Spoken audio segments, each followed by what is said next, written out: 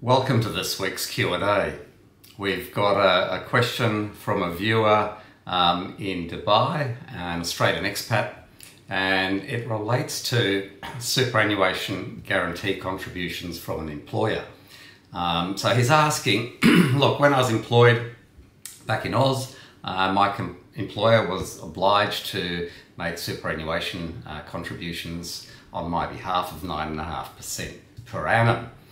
Um, now, a couple of things first of all. If you're employed by a, an overseas employer and you're an Australian, um, it's more than likely than not that that employer has no obligation to make superannuation guarantee payments uh, on your behalf.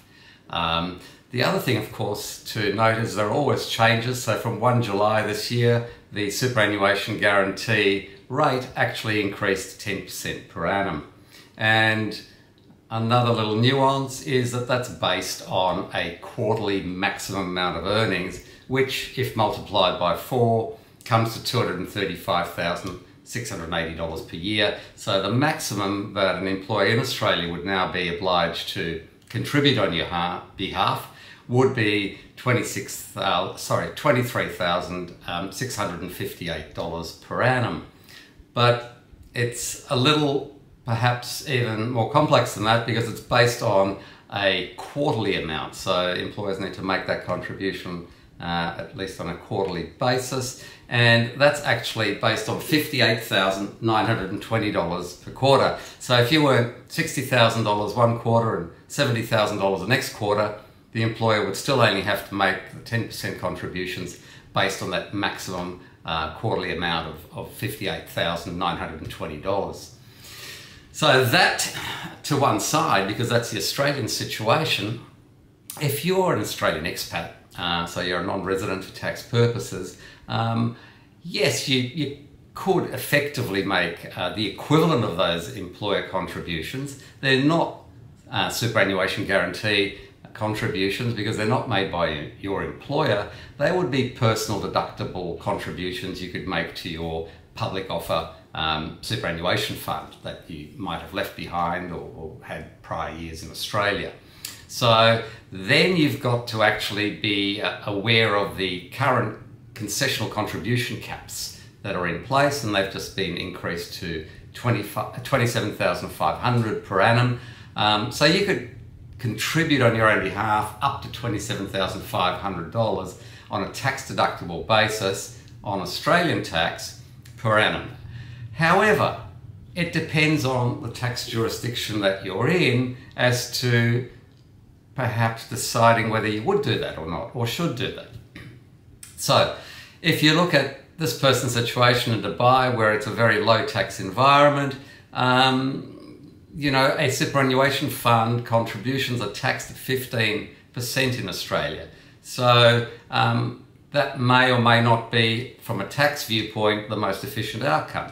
But let's say that person had an investment property or an ex-home in Australia and that was producing positive income, Australian taxable income, which is rental income, and then they were paying 32 and a half cents in the dollar, 32 and a half percent on that income from dollar one.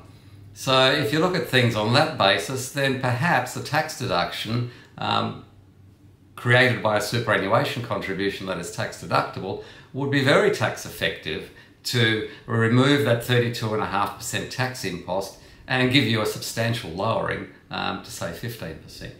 So it really depends as always on someone's personal situation. I urge everyone to get personal advice in relation to this, but very important then if you're living in say the US or the UK or Hong Kong or Singapore or the UAE, um, and it really is also very dependent on some of the other macro things that you've got to think about.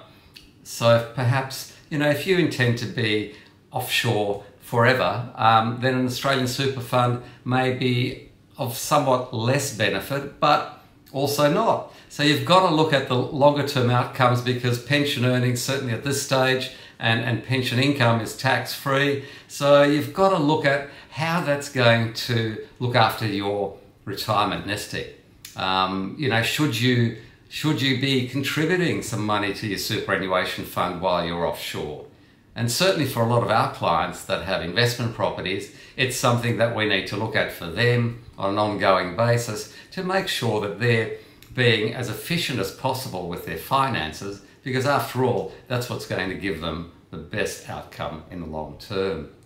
If you found this interesting and like some more information, um, please subscribe to our YouTube channel and click like. I'm Andrew Unterweger from Wise Guru, and I'll see you next week for our Q&A. All the best to all the Aussie expats around the world and all of our clients back home in Australia.